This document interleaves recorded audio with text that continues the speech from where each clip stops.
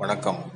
பத்து ஆண்டுகளுக்கு மேலாக சிறையில் இருக்கும் அனைத்து சிறைவாசிகளை விடுதலை செய்ய வலியுறுத்தி வாணியம்பாடி ஆம்பூரில் அனுமதியின்றி ஆர்ப்பாட்டத்தில் ஈடுபட்ட தமுமுக மற்றும் மனிதநேய மக்கள் கட்சியினர் பத்து பெண்கள் உட்பட நூற்றி பத்து பேர் கைது. திருப்பத்தூர் மாவட்டம் வாணியம்பாடி பேருந்து நிலையம் அருகில் தமுமுக மற்றும் மனிதநேய மக்கள் கட்சியின் சார்பில் பத்து ஆண்டுகளுக்கு மேலாக சிறையில் இருக்கும் அனைத்து சிறைவாசிகளை விடுதலை செய்ய மத்திய மாநில அரசுகளை வலியுறுத்தி ஆர்ப்பாட்டம் நடைபெற்றது. ஆர்ப்பாட்டத்தில் ஈடுபட்ட பத்து பெண்கள் உட்பட நூத்தி பத்து பேரை நகர போலீசார் கைது செய்தனர்.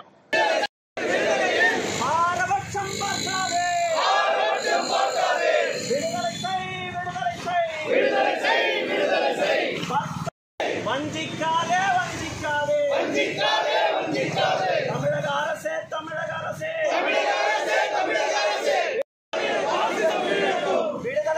ಬಿಡುವ